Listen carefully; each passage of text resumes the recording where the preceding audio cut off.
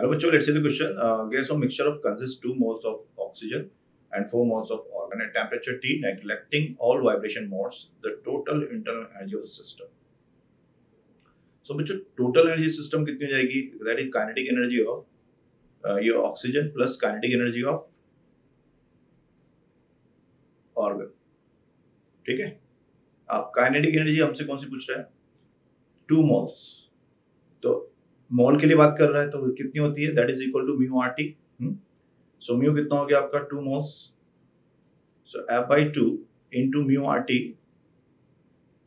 plus F by two mu R T